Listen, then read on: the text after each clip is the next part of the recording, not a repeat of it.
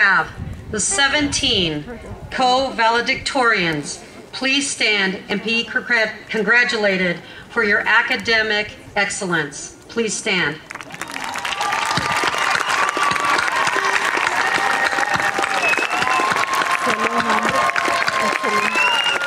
Please be seated.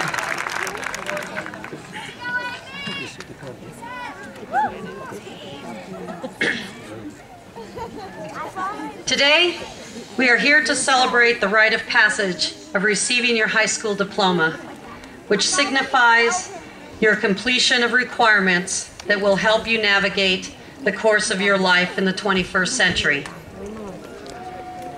Last week, President Obama gave a commencement speech to the graduating class of